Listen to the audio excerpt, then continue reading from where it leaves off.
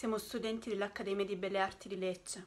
La situazione da noi è tragica. Da più di due mesi studenti e docenti sono stati abbandonati a loro stessi. Siamo privi di una guida per affrontare questo periodo di emergenza.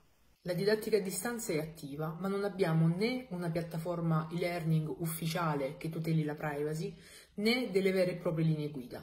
I docenti si sono dovuti arrangiare come meglio hanno potuto. Non è stata effettuata nessuna distinzione tra materie teoriche e laboratoriali. Sono state tutte completamente ridotte a lezioni online, senza la garanzia di un recupero in sede. Così facendo si viene a perdere la pratica, che è il cuore della nostra formazione artistica.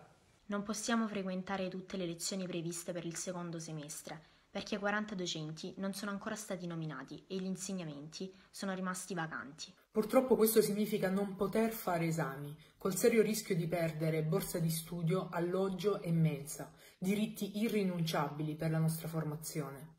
Questa situazione era presente anche prima del lockdown, infatti già da ottobre alcuni di noi non hanno potuto frequentare i corsi.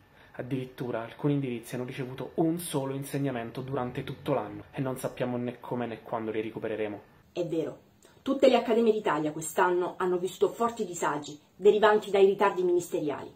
Ma solo nella nostra accademia abbiamo sperimentato una totale mancanza di cura e attenzioni nei confronti della didattica. È vergognoso.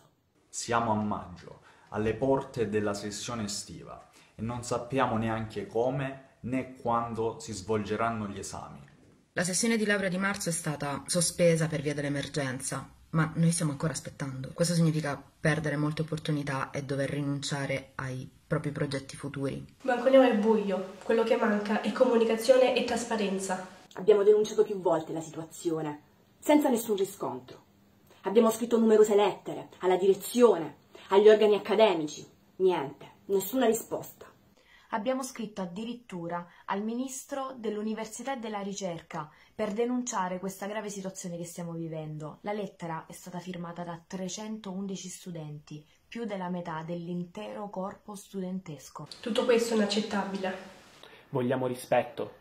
Vogliamo l'istruzione, i servizi per i quali stiamo pagando e che non ci vengono offerti.